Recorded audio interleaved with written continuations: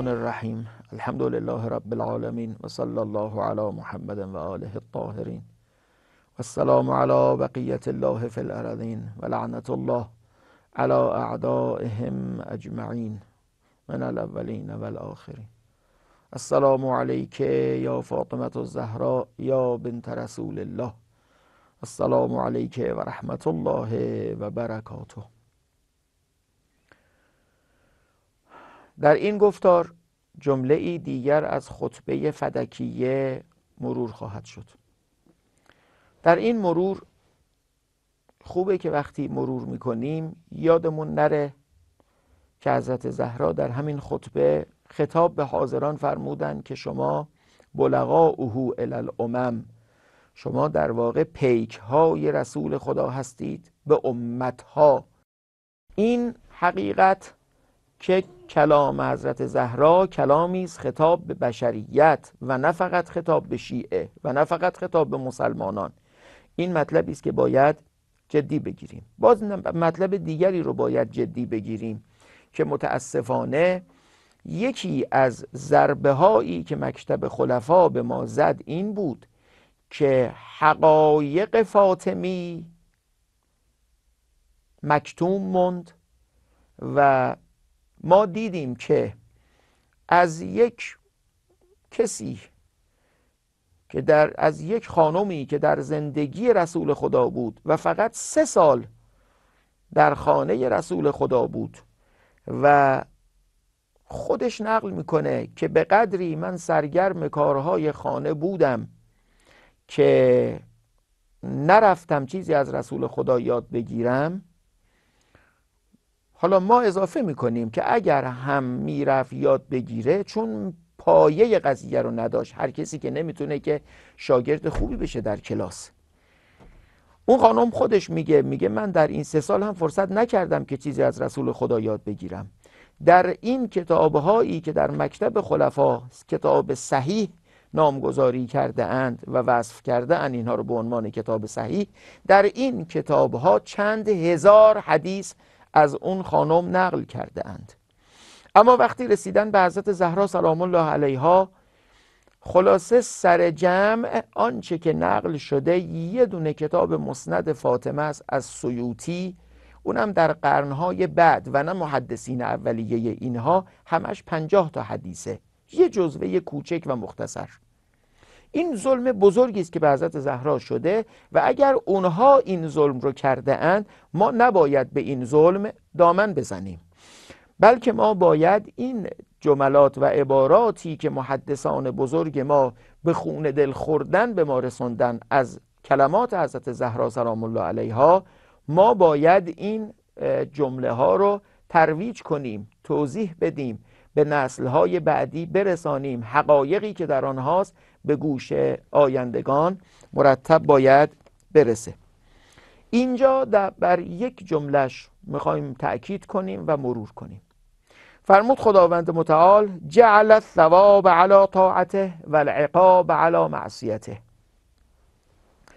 این جمله با همین کوتاهی جوابی است عمیق و رسا و قاطع و محکم به یک سوال بسیار بزرگ که در طول تاریخ برای بشر مطرح بوده.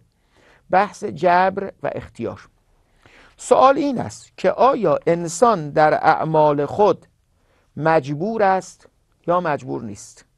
بحث خیلی مفصله. من نمی‌خوام وارد طرح سوال بشم از شبهاتی که حول حوش این مطرحه. فقط رو این بر مبنای این جمله یکم توضیح بدم.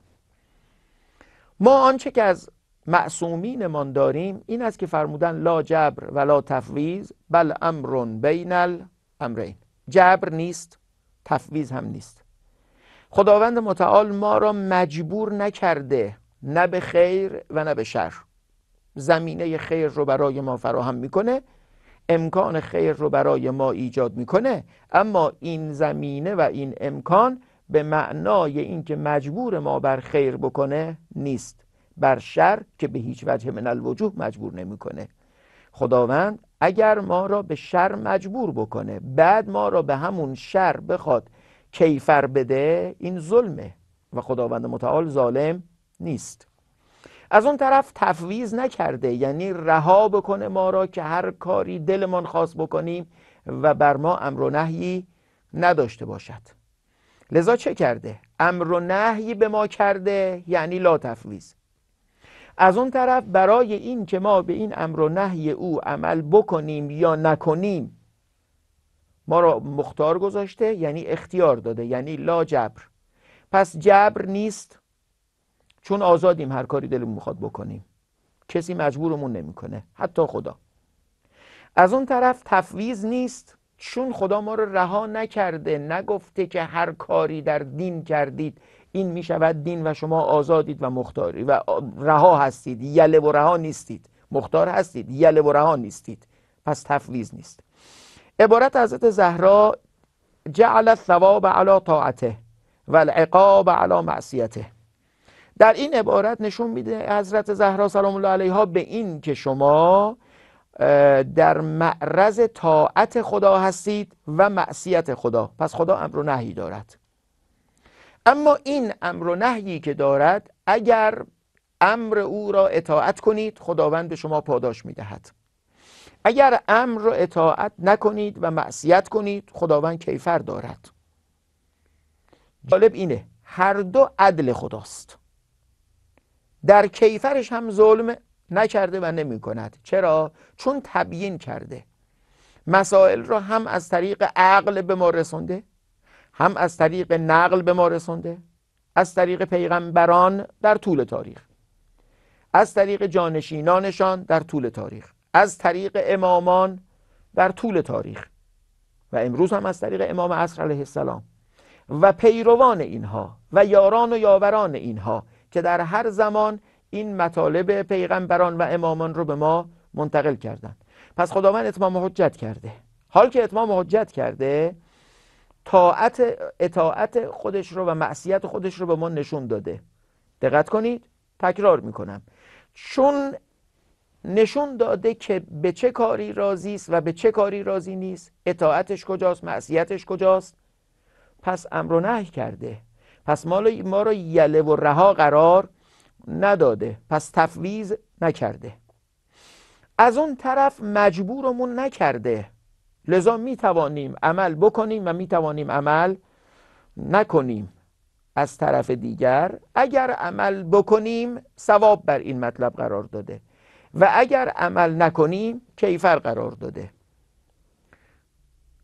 کلمات و معصومین سلام الله علیهم اجمعین کلمات معصومین و من جمله کلمات حضرت زهرا سلام الله علیها تفسیر قرآن است همش. اینی که در اینجا اگر دقت کنیم ما در قرآن اینو می‌خونیم انا هدیناه السبیل اما شاکرن و اما کفورا. ما به او راه نشان دادیم. چه شکر کند که اطاعت کند. چه کفران کند که معصیت کند؟ در هر حال و در هر صورت او مختار است که چی کار کنه. اما از اون طرف ما یله و رها او را قرار ندادیم. در اون آیه شریفه هم دقت کنید مطلب همینه. انا هدیناه السبیل. پس یله و رها آفریده نشده تفویض نیست. از اون طرف مجبور نیست که بگه چون خدا به من امر و نهی کرده من مجبورم امر و نهی خدا را عملی کنم. اما شاکرن و اما کفورا. می‌تواند شکر کند که اطاعت کند. می‌تواند کفران کند که اسیان کند. بعد حالا قل هل یستوی الاعما و البصیر قرآن میفرماید. آیا بینا و نابینا یکسانند؟ ام هل تستوی الظلمات و نور آیا ظلمت و نور یکسانند؟